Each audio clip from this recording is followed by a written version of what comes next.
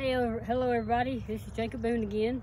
Uh, this is going to be the third video of the three-part videos that myself and Chris Mackey, who is my mentee and agent in Unicoi County. Of course, I'm the agent in Hancock County.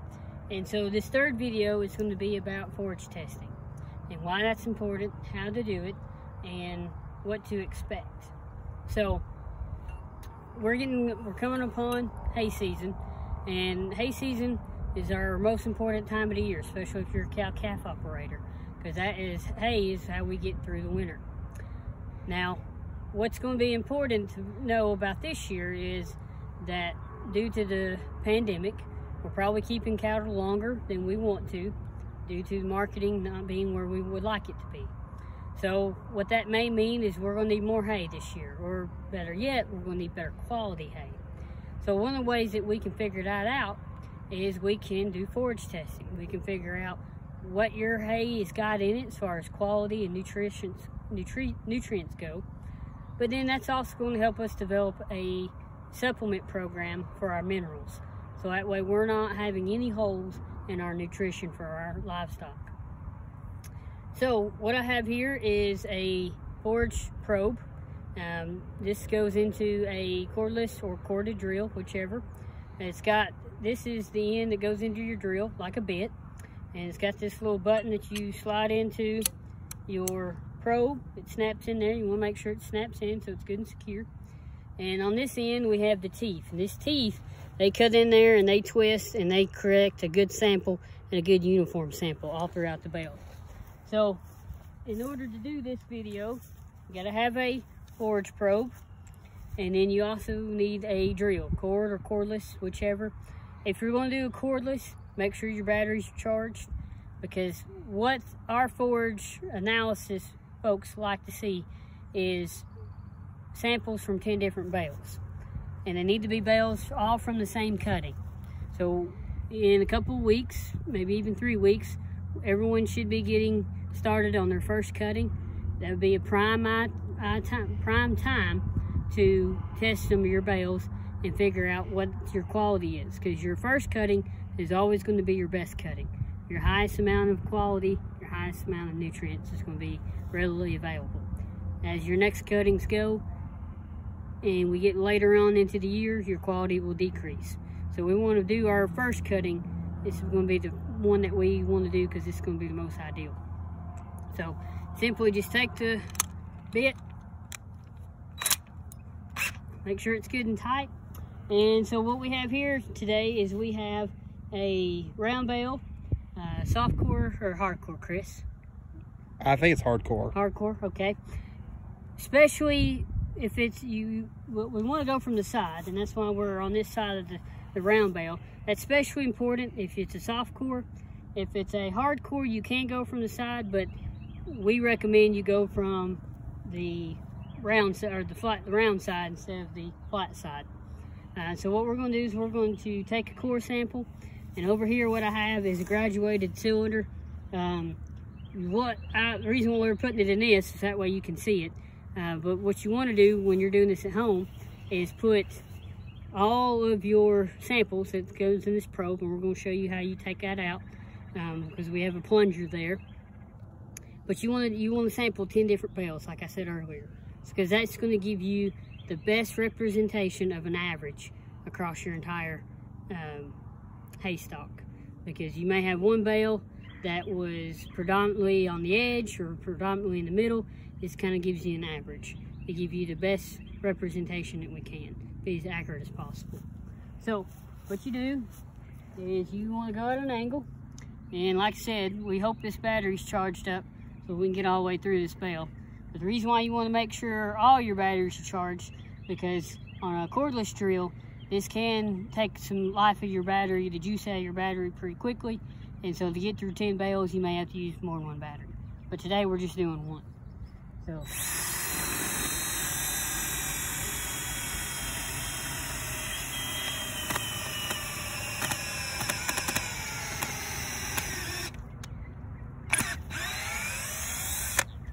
Make sure you go all the whole length of this probe. Because if you don't, then you are not getting all the way down into the center like you're supposed to. So after we've collected our sample, we can take our bit piece out. If you look in there, you see hay. All right, broken down pretty finely. So 10 samples will fit in the gallon Ziploc bag. So then you take your plunger and you get your, your cylinder tied around the end. And you just simply push. And sometimes it's in there pretty tight, so it may take a little bit of time. A little elbow grease. A little elbow grease ain't gonna hurt nothing. I have to put it to my chest sometimes and keep working it. So we had pretty pretty good sample here.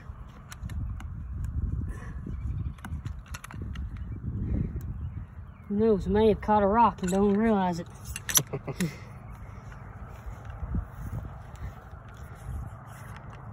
you normally this works a lot better.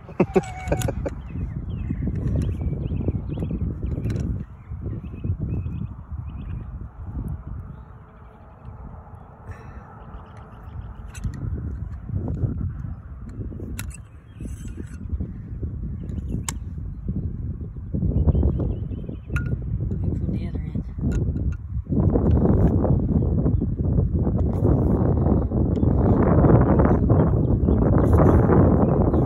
There, we went from the wrong end. See, even extension agents get it wrong. but you want to do that 10 times, and then if you look inside here, you can see how it's ground up pretty good. Um, that is what the size that they need in order to take a very good sample and do a really good analysis. And you want to do that 10 times. Like I said, you might want to need to have both batteries charged up. But that right there looks like some pretty good hay. From there, we can uh, check for a couple different things. If you are curious about nitrates, if it's going to be a later cutting you want to do, say it's got a lot of summer annuals or perennials in it, we can do that. If you want to test for for specific nutrients, we can do that as well. Like say either copper, selenium. Uh, we know we're deficient in those in the state of Tennessee in our soils, as well as uh, magnesium. So we can check all those things and we can figure out what type of supplement program that we need. Uh, and then there's a few other things you can test. Uh, we will be, uh, when we post this video, we will be attaching the forage analysis sheet, sheet and what are the things you can check off. The prices will all be on that sheet and what all you can test for. So that way you can get an idea of what you are actually growing, what's going to be in your forages, where are the holes in our nutrient program, and how do we supplement that. So that way we're putting out the best quality feed that our cattle can get and we're getting the gains that we're looking for. Again, thank you for watching this video. I'm Jacob Boone with Hancock County Extension. The man operating the video today is Chris Mackey, and we love to hear from you. You can call our offices if you have any questions. Um, I have one of these probes. This is actually my probe. Uh, Chris Mackey's going to be getting one soon. So if you're going to be interested in uh, testing your forages, we have this here, or we have these at our office that you can use. You can. I ain't got a drill for you, but I got the probe for you. You have to use your own drill. Um, thank you, and I hope to hear from you guys.